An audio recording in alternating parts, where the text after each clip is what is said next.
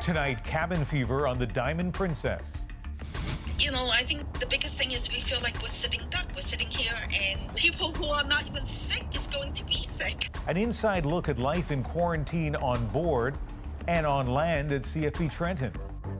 Plus, some of our viewers ask questions about coronavirus, including how to deal with anxiety in the Chinese Canadian community. Do You have anything to say as you're being arrested? The RCMP make more arrests at the Wet'suwet'en anti-pipeline blockade in BC, while sympathy protests could throw a wrench into the morning commute in Ontario. And why you should read the fine print before you use online banking. They've just made this clause which clears themselves of responsibility. This is The National. Weeks after the dangerous coronavirus started sweeping China, the country's economy is battered, its citizens uncertain, and its ability to contain the outbreak unsure. There are signs of progress, and China's government remains confident, but it is still asking for help. Canada has uh, responded to uh, the Chinese requests for medical equipment. We're going to continue uh, to work with them uh, to ensure that they have the resources to uh, contain uh, this virus. And while Canada has not been hit as hard as China, authorities remain on high alert. There are now seven confirmed cases in this country four in BC, three in Ontario. And at least seven other Canadians are now sick aboard the Diamond Princess a cruise ship turned floating containment zone halfway across the world. There are 3,700 people on that ship off Yokohama, Japan, 255 of them Canadian, all confined to their rooms since Wednesday. And as Chris Brown reports, with 70 passengers now sick, tension is amping up. This is about all you can do when it comes to exercise on board the quarantined Diamond Princess. And these passengers are the lucky ones. They've actually got balconies and outdoor space. Uh, so we are on the deck. Uh, we have about an hour to walk around. Lana Chan of Toronto has an inside cabin with no daylight or fresh air, and this was just her second 60 minute outdoor walk in five days. An additional uh, six cases. Then came the captain's announcement of six more cases of coronavirus. When we FaceTimed her, she was sounding pretty stressed. You know, I think the biggest thing is we feel like we're sitting duck. We're sitting here, and people who are not even sick is going to be sick. We saw several ambulances pull up to the ship with attendants hurrying around, though the captain told passengers some of those being taken away had other medical problems. Japanese authorities instituted the quarantine to try to prevent sick people on the ship from spreading the virus on shore. Oh, so a, a, lot of different things. But this medical expert suggests that's also put those on board at greater risk. It seems to me that the people who are now in quarantine on those ships may be at more risk of infection than they would have been if, for example, they've been taken off of the cruise ship and allowed to go home or sent to some other facility with more space than a typical cruise ship. Then again, this concentrated cluster of cases could also help scientists understand the virus better, maybe by learning how it spreads and the rate of severe cases to mild ones. Of course, that's of no comfort to those on board. Jennifer Lee has been talking to the CBC for several days now, but this was our first chance to see her in person. She said passengers are worried about returning home after the quarantine ends, and trying to get answers from Canadian consular officials has been difficult. Uh, the passengers have sent mail to them and asked for the post, and um, they have not yet responded. Uh, it's been two days already. Is that frustrating? Very, very frustrating. Just in case some on board are having trouble coping, the captain also announced if people are experiencing any mental distress, psychologists are available by phone. Chris Brown, CBC News in Yokohama. So, if it's that bad for passengers who can at least step outside, imagine what it's like for those who don't even have a window. In the interior room, the walls are a warm neutral color. The carpets are a gray blue. A bedside table and lamp are on either side, and a wall mounted mirror is above the headboard. The Diamond Princess has 379 of these interior rooms a bedroom, a bathroom, a small closet, and that is it. Each cabin just 15 square meters. That is the size of the average North American parking spot, which is effectively what they are now a place to park passengers until the quarantine is lifted. The more than 200 in quarantine at Canadian Forces Base in Trenton, Ontario are enjoying more freedom of movement. Ashley Burke shows us what it's like for them. I just wanted to give you a quick view of my room. And this is Miriam LaRouche's home for 12 more days. It's really cozy. It's really, it's really cute. The 25 year old graduate student was studying in Wuhan. I'm feeling good. Uh, just like uh, getting used to this new quarantine life. After so much uncertainty, she doesn't mind being quarantined, especially now that there's an end in sight. I try to watch movies as much as possible here. Uh, I try to relax too because I'm really tired and jet lagged. My mom. It's been a long, exhausting journey for evacuees to get here.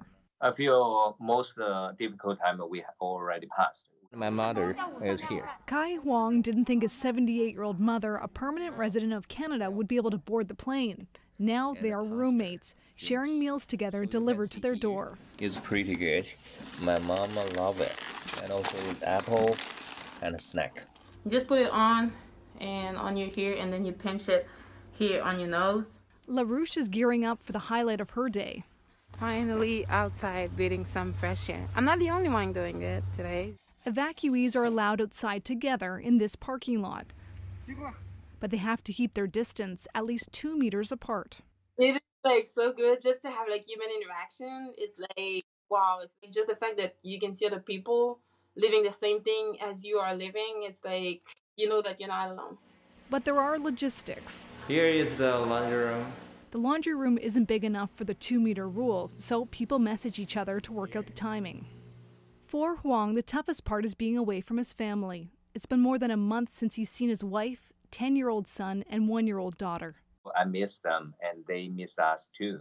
He's looking forward to wrapping his arms around them and finally going home. Ashley Burke, CBC News, Ottawa. And as those Canadians settle into quarantine, across the world, dozens of others are now free. 3,600 people, including 36 Canadians, were cleared to disembark the quarantined World Dream today after all the crew members tested negative for coronavirus. And with the Lunar New Year holiday over, many Chinese nationals will now return to work, but the outbreak has hit the country hard. And as Tina Lovgreen explains, gearing back up won't be easy. Normally at this time, Beijing is crushed by the daily rush hour. Not today, even though the holidays are over and people are starting to trickle back to work after two weeks of lockdowns. In many areas, schools are still closed, and those who can work from home are told to do so. The rest to stagger their travel times to reduce the risk of infections. I think at this stage, uh, they don't have a choice. They can't keep people away from work any longer.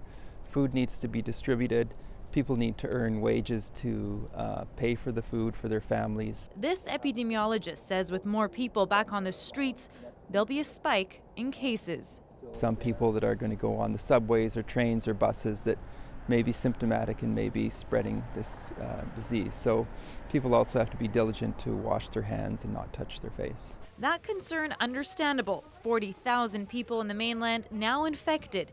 908 people have died making the coronavirus more deadly in China than SARS was globally. All of which has been very punishing on the Chinese economy. Tourism is getting massively hit. The virus has paralyzed much more than tourism. It's also hit China's manufacturing industry. We find uh, Hyundai stopping production in Korea uh, because they cannot get supplies from China. Uh, and this is going to spread further. We know that Foxconn, which produces over half of, uh, of iPhones, probably not restarting production this week. So this is going to trickle down throughout products around the world. And while most of the Chinese economy sputters back to life, the ripple effects will take some time to even out. Tina Lovgreen, CBC News, Vancouver. Now, it's unlikely that Hubei province, the epicenter of the outbreak, will have much to do with that economic restart. It remains under a very tight lockdown. In fact, there are reports of some pretty extreme containment measures. Sasha Petricic is in Hong Kong working on a story. And Sasha, what are you hearing about these tough new tactics in Hubei? Well, Ian, uh, this is really turning into more and more a political operation and not so much a medical one. Party officials have been sent down to Wuhan and Hubei Uh, and uh, on the orders of the leadership, they are to round up whoever needs to be rounded up and to do so with no delay tolerated. So, what we're seeing and hearing on the internet is uh, police in hazmat suits going door to door, taking people away who either have a fever or are rumored to, uh, to have been in contact with someone who did. Containment is the goal here, and uh, using whatever means is necessary. And containment where? Well, they're taking them to improvised facilities. We're talking about sports stadiums or convention centers, big halls with rows and rows of beds and very few facilities or supplies or even doctors for that matter. So the concern is that far from containing the coronavirus, this is actually going to become a whole new breeding ground. Sasha Petricic in Hong Kong, where it is Monday morning. Thanks, Sasha. My pleasure, Ian. So many of you still have questions about the coronavirus, so we brought some of yours to an expert. Do we know the demographic of the uh, people who are uh, suffering severely or unfortunately passed away from this? In about 20 minutes, a conversation between concerned Canadians and BC's public health officer. Now to a conflict that's disrupting lives in several parts of Canada, but it's mostly playing out in northern British Columbia where the RCMP have been removing Indigenous protesters bent on stopping the Coastal GasLink pipeline. It's part of a $40 billion project to bring liquefied natural gas from near BC's eastern border to the port of Kitimat. Elected First Nations leaders have signed off on the project, but it's still opposed by the hereditary chiefs of the Wet'suwet'en Territory. Police have been pushing westward from this RCMP checkpoint following a court injunction to clear out protesters so construction can continue. Greg Rasmussen starts our story there.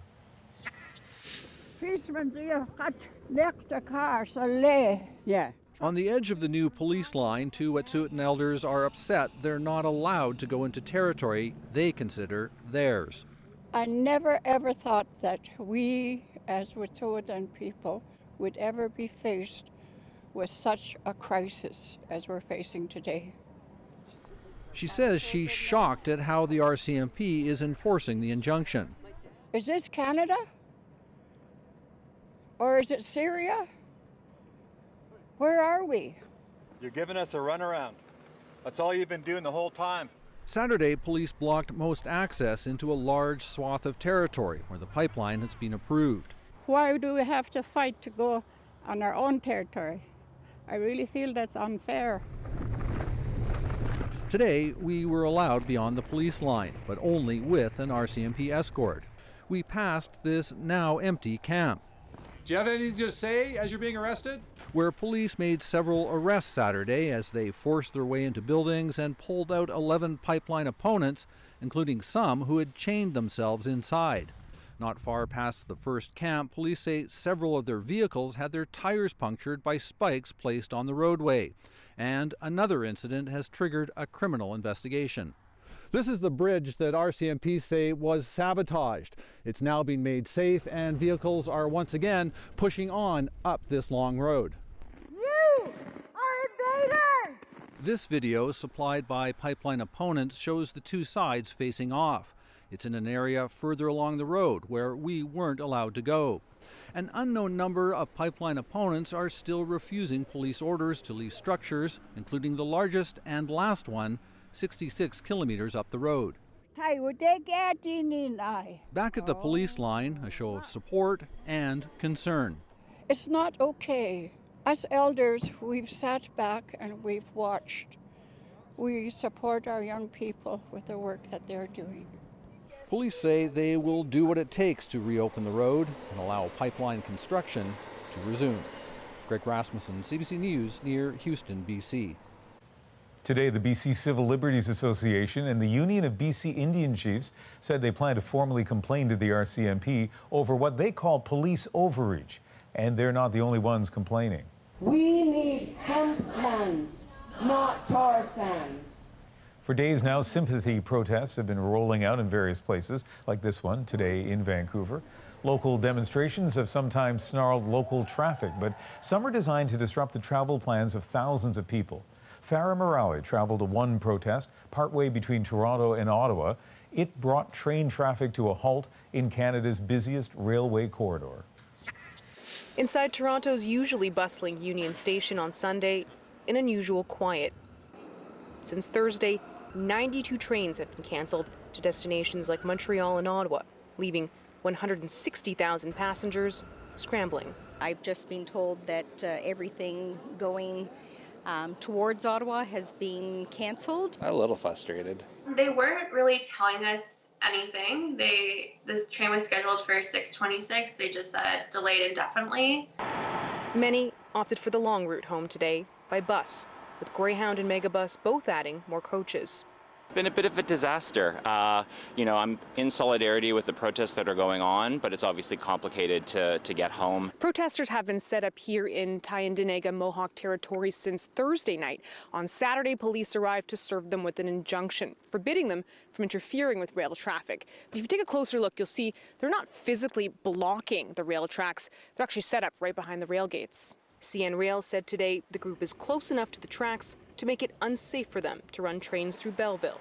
We just like everybody to know that, you know, we're not doing this just to be a pain. You know, we're, we're doing this out of, like I said, out of solidarity.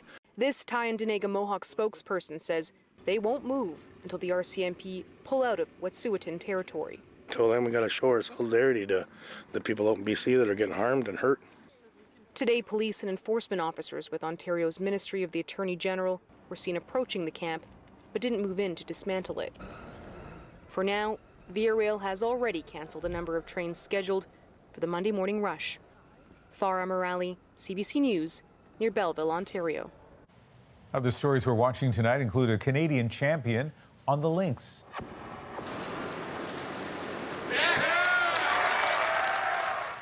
Nick Taylor from Abbotsford, BC, winning the Pebble Beach Pro Am and his wife and family on hand to congratulate him. Taylor beat Kevin Streelman and the legend Phil Mickelson. Taylor's last victory on the PGA Tour was back in 2014. Look at this major flooding in Yorkshire, a deluge delivered by a storm called Ciara, the most powerful storm to hit the UK this winter. Wind speeds reached 145 kilometers an hour forcing flights, train trips, and sporting events to be canceled. It even kept the Queen home from church for safety reasons. Thank you for your support. And nearly a week after the Iowa Democratic caucus, it is now official. Pete Buttigieg has edged out Bernie Sanders in the delegate count. Officials had been reviewing disputed results. Sanders' team is not satisfied. They want a re-canvass of some precincts. This happens as all the candidates are campaigning hard for Tuesday's New Hampshire primary. A North Vancouver man says his bank refuses to compensate him for money he lost through bank fraud because of a loophole in its terms and conditions. Hundreds of people have written our Go Public team with similar complaints after most of Canada's big banks recently updated those agreements. Erica Johnson took a close look at what's in them. It was a strange email for Jeff Harney saying he'd accepted an e transfer when he hadn't. A fraudster had intercepted it. The money was gone. My, my, branch manager indicated there was nothing to worry about if it was a fraudulent transaction. But then the general contractor heard back from his bank. RBC said it wasn't going to reimburse the $1,500 lost to bank fraud. How clear is that in the banking agreement? Well, I'd say it's not very clear at all. RBC pointed to its online agreement, which says the bank is entitled to pay anyone who correctly responds to the e transfer question and answer.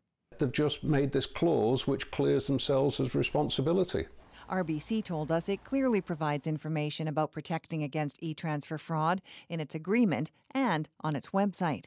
Most of the big banks recently updated their online banking agreements. So, Go Public asked this contract law professor at the University of Ottawa to assess how fair those agreements are to consumers. They are so one sided and benefit the banks to, to such a degree that there's no way that I would call these ultimately bargained agreements. These are take it or leave it, where the taker really has no option.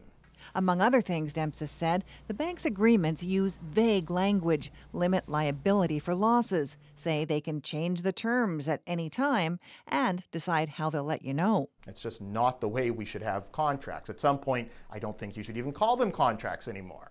He says the federal government should require third party oversight. Where the banks are forced to actually include terms that consumers would accept, not terms that the bank wants them to accept. Go Public asked the Ministry of Finance whether it would introduce oversight for banking agreements to even the playing field for consumers. It steered us to a voluntary code of conduct, last updated in 2004. And Erica's here in our Vancouver newsroom. You reached out to banks on this, and from their perspective, Erica, they, they say the agreements are fair. They do. They say that they are liable for losses in certain circumstances. Also, that they have invested a lot of money protecting client accounts from fraudulent activity. But they say that those protections are a joint responsibility with customers who have to read those online banking agreements. Yeah, technically, you're supposed to read through all of that. Virtually none of us do. Uh, but you did, and you found some interesting clauses.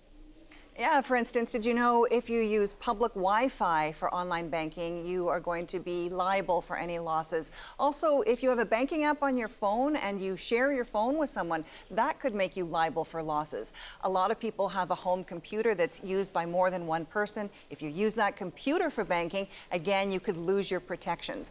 One thing to emphasize if you are doing e transfers, you have got to have a strong security question and a password that you share verbally, the password do not put it in an email or even a text. All right, Erica, thank you. Thank you. Erica and our Go Public team get their stories from you. So if you'd like to go public, email us at gopublic at cbc.ca. Canada's Super Bowl champion is back in Montreal there's always a little voice in the back of your head where you're like, okay, I don't want to screw that one up. Still ahead on the National, while playing in the big game isn't the most nerve wracking thing he's accomplished. And we're in Africa for Justin Trudeau's $2 million pitch to get Canada on the UN Security Council, plus the star power he's adding to the sell. And your questions on coronavirus. Concerned Canadians sit down with BC's provincial health officer to get answers. Back right after this.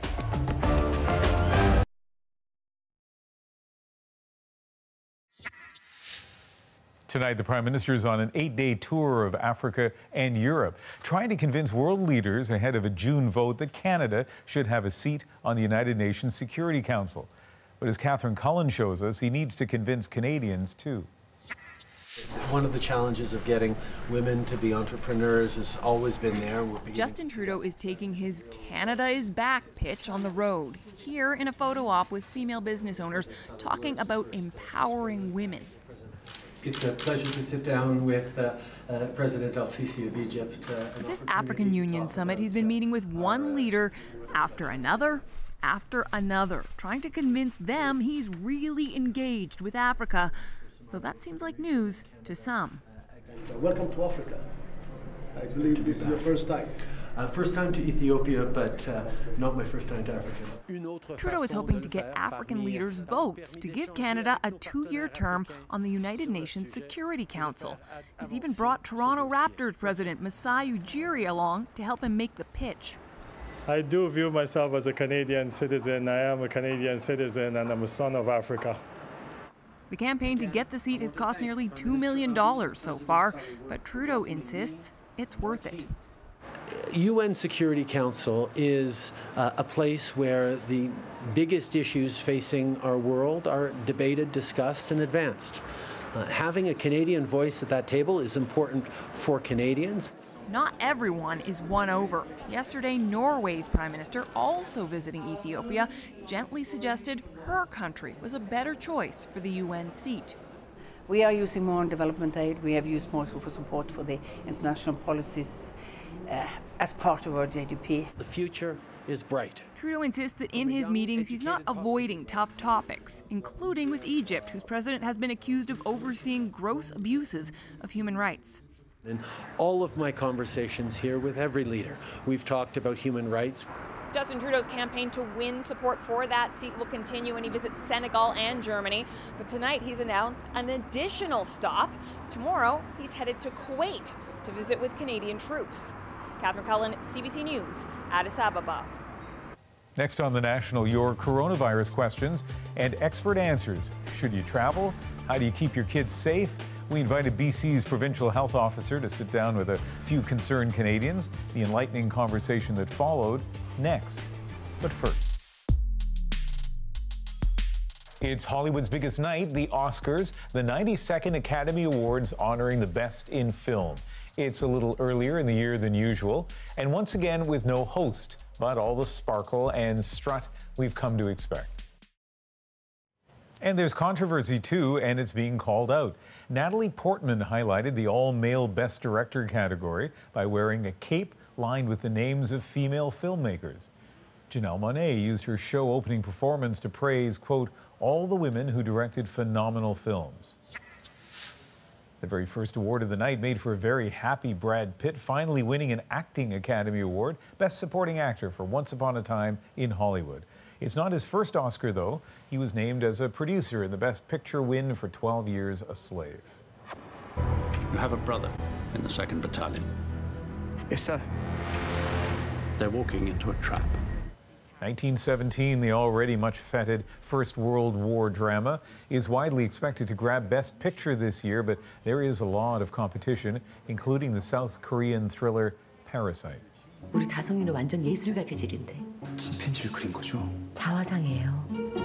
If it wins Best Picture tonight, it will make history by becoming the first non English language film to grab that category.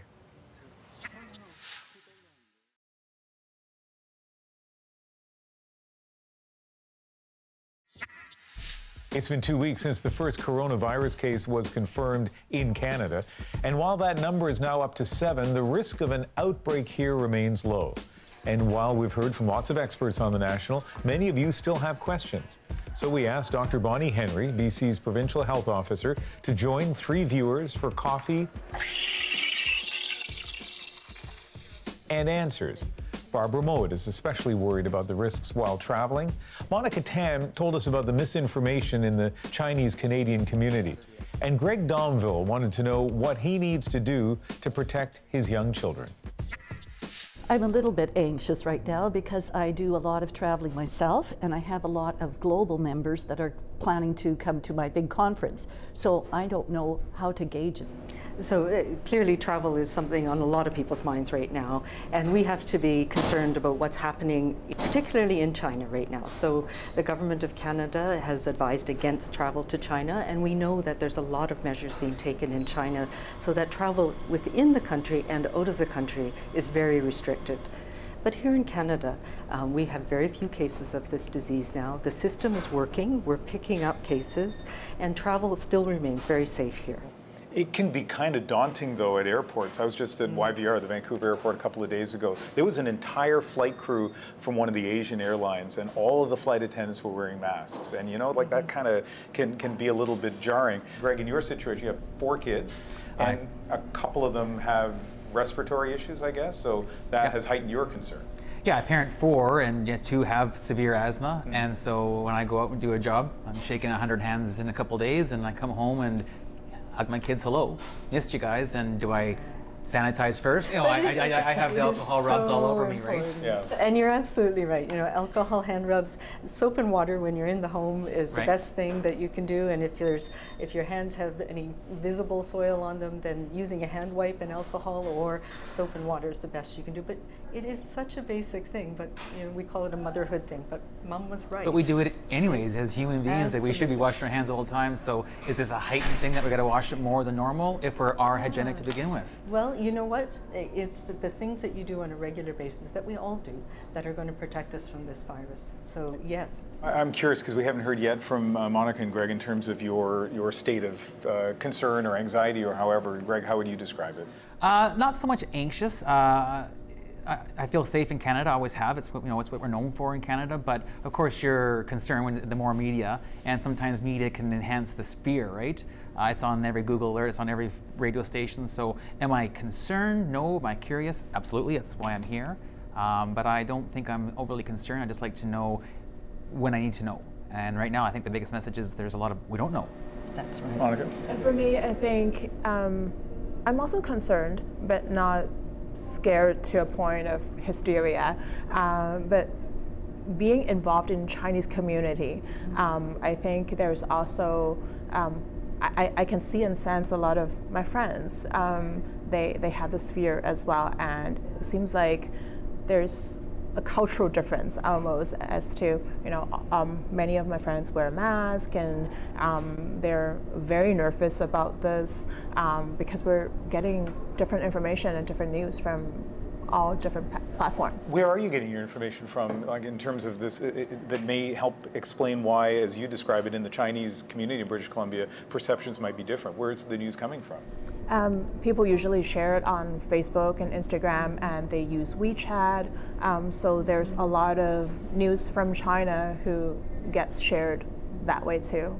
So, as a public health officer, you must be aware of that and yes. concerned about the potential for misinformation. And how are you dealing with that in British Columbia with, let's say, uh, the, the, heightened uh, concern in the Chinese community? Well, I, I, think there's a couple of things. Here in Canada, um, many of us, many of our communities, we have family, loved one, friends who are in China right now, and we're very concerned about them, and we're watching really carefully what's happening there. And I think this is one of the things, you know, this virus doesn't know where geographically you are in the world or where you were born. And it is affecting our, our friends and our colleagues in our communities across the country who have friends and family there in China right now. Here in, in Canada, we still have a very small amount of this disease here, and we still are learning. And I think we're watching very carefully the public health system. Um, we've been watching from the very beginning. We have the specter of SARS in our minds. Um, but we are, we are sharing information in a way that we never have before, and I think that's helping us. But information does change, and it changes as we learn more. You know, is how is this spread? What is the incubation period? Who's most at risk? These are all things that are really important that we're learning more and more about. But our system in Canada is working. We are finding people who have this disease. All of them can be linked back to, to the area in the epicenter in China. And so we can take some comfort in that, that we know how to detect and test and care for people here in Canada. And as we do this, the best information you have is that there has not been a sort of person to person transmission out on the street uh, in, in British Columbia, for example, yet from this. No, that's absolutely right. And we know that there's um, 20, almost 30 countries where there have been cases, and it's, it's close contact. It's being with somebody while they're sick. Um, that is how this can be transmitted. Any more questions? Yeah. yeah um, for, I mean, uh, besides Tylenol or Advil for like symptomatic relief, what are the what, what are the treatments for infected patients in the meantime? So that is one of the things. It's a new virus. There are no specific treatments for this virus and no vaccine right now. So that's a challenge. Um, we do know that most people, from the data that we're seeing around the world, most people have a pretty mild to moderate illness. And certainly here in Canada, the seven people that we know, they've all been had relatively moderate illnesses or mild illnesses, which is good news. Do we know the demographic of the uh, people who are um, suffering severely or unfortunately passed away from this? What we are seeing is that it's a very mild illness, particularly in young, healthy people, and we see very few children who've been affected by this. So that's good. Um, it's mostly older people, although not that old. They've been over 55 or over 60. Um, but the people who have died have been mostly older, mostly people who have underlying illnesses like diabetes or heart disease or lung issues it's flu season, as you mentioned earlier, and so the symptoms are relatively the same.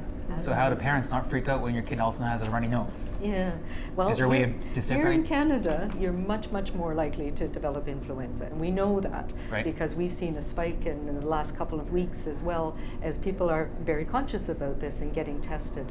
Most of the people that have been tested, even if they have come from China um, or affected areas, they've tested positive for influenza and negative for coronavirus. So you're absolutely right. That is something we need to be concerned about all the time. And it, it, we know that young people, particularly, But when do we take our children to the hospital to get tested? Yeah, so that's the question. It, that is the question, and it's the same for all of the respiratory viruses. If right. you're concerned about cough, difficulty breathing, then yes, they need to be assessed.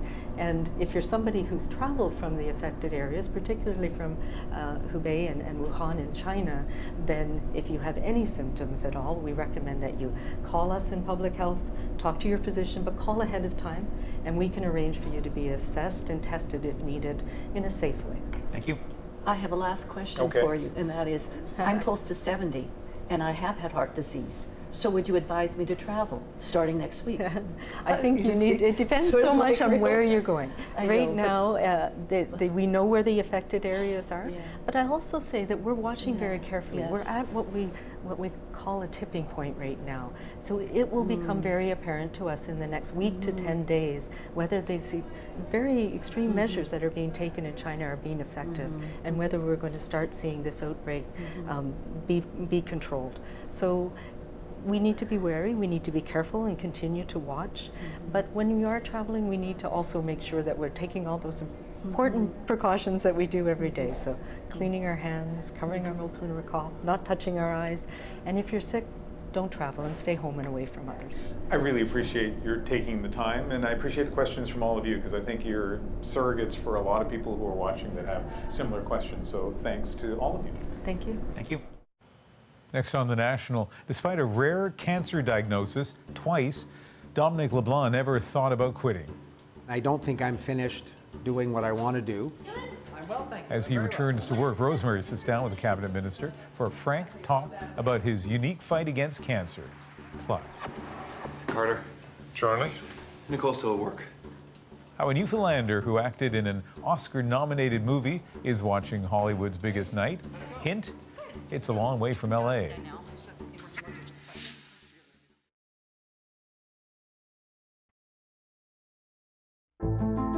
I'm Jamie Poisson, and tomorrow on CBC's daily news podcast Front Burner, Bombardier, the Canadian industrial giant, is now more than 9 billion US dollars in debt. Will it get another bailout? Subscribe wherever you get your podcasts. Mr. Speaker, let me begin the first time I have to take uh, my seat and to take the floor in this House by congratulating you. Dominic LeBlanc returned to his seat in the House of Commons this week for the first time since his cancer diagnosis. The veteran Liberal MP and cabinet minister was forced to step away from his position last year to seek treatment. And despite not being able to campaign during the election, he was still re elected in his longtime New Brunswick riding. Now LeBlanc is in complete remission and back to work in Ottawa. Our chief political correspondent, Rosemary Barton, sat down with him to talk about his health and his commitment to public service. Monsieur LeBlanc, how are you feeling? I'm well, thank you. I'm very well. Dominic LeBlanc's return to Parliament took longer than most other MPs after the election. In fact, he had been away from this place for more than six months. How are you? I'm well, thank you. Yes, you I'm seem well, in good spirits. Yeah, I feel great. Yeah, good. It was his second diagnosis of cancer since 2017. Well, it was a very rare form of non Hodgkin's lymphoma, which is a fairly frequent or a reasonably common yes. type of blood cancer, I think. Yeah. Um, but the particular kind I had, uh, there have been around 500 people in the world who've been diagnosed with it mm. since the 1980s. It became clear quite quickly that he would no longer be able to do his job as the Minister of Intergovernmental and Northern Affairs. When the news of my health challenge was made public, his diagnosis was about to take up his whole life. I remember calling the Prime Minister, I think, the beginning of April. I said, that's just not going to work. Um, so he was very, very, very generous for, throughout the whole thing. He is one of your closest friends, though. Yeah, uh, but he's also my boss, yeah. and he's also the prime minister who has a responsibility to have a functioning government. Yeah. So he looked after that part of it, and then would check in with me as a friend would. Mm-hmm. Justin Trudeau and LeBlanc have famously been friends since childhood when LeBlanc sometimes acted as his babysitter. But LeBlanc has been in politics for a lot longer, waiting 15 years to have a chance to serve in cabinet. He wasn't ready to give up. To be honest, Rosemary, I never contemplated not running again. And I don't think I'm finished doing what I want to do as a member of parliament or a cabinet minister. I wasn't going to let a difficult medical situation cut off something that I love doing. LeBlanc flew to Montreal to begin treatment aboard a private plane owned by Jim Irving, a friend and a member of New Brunswick's powerful and wealthy Irving family. The trip was cleared ahead of time by the ethics commissioner, and LeBlanc says it was the only way he could safely get to Montreal. I know you were cleared to do that, but I wonder whether you still think that was the right decision, or, or should you have just driven yourself? No, no, uh, that was absolutely the right decision. The doctors didn't think a 12 hour drive in some cases, you have only a few hours to get to a hospital right. uh, if you develop a fever because you have an infection. Um, and I didn't think trying to find on La Route 20 in Quebec or uh, uh, Highway 2 in New Brunswick uh, to get to an emergency room was the best way to do it. For 56 nights, LeBlanc was in isolation, undergoing a stem cell transplant. It meant he could not campaign during last fall's election, leaving it to his friends, volunteers, and even a former prime minister. Did you ever think, uh, I, am not sure this is going to work out? Or were you positive? The, the, election or the medical? No, the medical stuff. Uh, I never doubted the election. um, like it sounds like you got lucky on a lot of fronts, like whether it be the match and the physical ability to, to, to endure it, all those things. Like it, in some Rosemary, ways. I, I, felt enormously lucky. Yeah. Uh, what's the chance you find a 10 out of 10 genetic match donor in another country with the same blood type who's a younger male? In fact, they found two. L'honorable Dominique Leblanc. A couple weeks later, his immune system now reduced to that of an infant, Leblanc was sworn back into cabinet as president of the Queen's Privy Council. When you showed up for the cabinet swearing in, uh, and you were completely bald at the time. That, that's not true. I had like a little oh. kiwi. Oh. I had a tiny. on TV. Yeah, no, but it yeah. was there. I was kind of proud of it. Yeah. It, and you were wearing a mask, worse. I think. I asked the doctors if I could go to some event at Rideau Hall, so I probably broke the confidence of the cabinet swearing in. Uh, they laughed and they said, "Yeah, but don't go to the reception afterwards. Mm. Don't shake everybody's hand. Use a lot of Purell and wear a mask." Uh, which I did. Yeah. Because uh, I had literally been out of the hospital for two weeks. Even now, LeBlanc's health is fragile. Coming to work means exposing himself to sickness. But after so many months away, it has also recommitted him to public service. It makes you motivated to want to make a real contribution uh, to the country or to my constituency, because um, that's an opportunity that not many Canadians have, and I've been given that opportunity, so you don't want to waste any day of it. I'm glad you're doing well. Thanks, Rosemary. Thank you for making the time. Thank you very much. Thank I'm you. glad to see you. Thank you. Glad to see you. Rosemary Barton, CBC News, Ottawa. Next on The National, the Newfoundlander who's cheering on his colleagues tonight at the Oscars from his couch. His story is our moment. But first, the Canadian on the Super Bowl chant, Laurent Duvernay Tardif, is back in Montreal. One week after the offensive guard for the Kansas City Chiefs became the first doctor to play in the big game. That's right, he has a medical degree as well as a Super Bowl ring. And today he told Canadian media how it felt to play at that lofty level. Not only one of the smartest, but one of the toughest.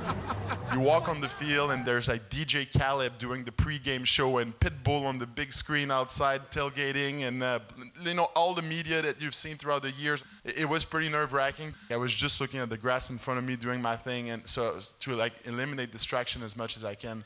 There's always a little voice in the back of your head where you're like, okay, I don't want to screw that one up, you know, and uh, and I'm glad we won it. I feel like all the fans from Quebec, from Montreal, from Canada in general, everything is so positive. Last night, uh, I went to grab some uh, some food across the street from where I live, and there's probably like four or five cars that that, that pull down their window and were like, "LDT, this is awesome!" At the end of the day, it's uh, it's for those type of moment that you you work so hard and you prepare, and and uh, you gotta embrace that that challenge. So it was fun. It was fun. Probably more fun than the, the LMCC, the medical exam.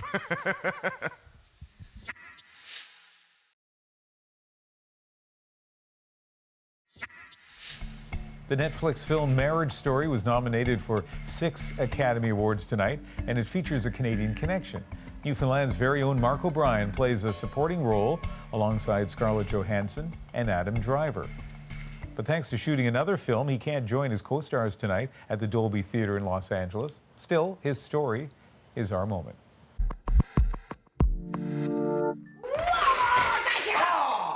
So when I walk down the street and I see like a poster for Marriage Story, I, I often forget that I'm like, oh, wow, I'm in that. So it's it's it's kind of surreal. I, to, to be perfectly honest, I still find it surreal that I'm in any movie. So because I oh, I just wanted to be an actor, and I was like, oh wow, like I can't believe they're letting me do it. Hey, how'd it go? Good. Yeah. And I'd read the script and I just thought it was incredible. It was a very long script. So I knew it was probably going to be, in the end, probably a little bit different than what I'd read. And um, and I, I, was just blown away when I saw it too. I was like, oh my god, like this is so well done. Oh, we're the Beatles. Come on, Charlie. I didn't really get a costume together. You could be George Martin. I don't need to be anything. Oh, you got to be something. I don't believe that it's happening. Uh, it's, uh, it's, cool. It's it's a it's a real treat because I just love movies so much, and yeah, I'm going to be watching by myself in New York with my cat. Well, that sounds exciting. Uh, now, I know he's modest, obviously, but if he truly is amazed that he's in films at all, think about this. Not just the much nominated movie tonight, but Arrival back in 2017 was nominated for Best Picture. He was in that. And for those of you who are CBC TV fans, maybe you're thinking to yourself, Republic of Doyle, wasn't that young man on that show? And indeed, he was. That is the National for Sunday, February 9th, 2020. Good night.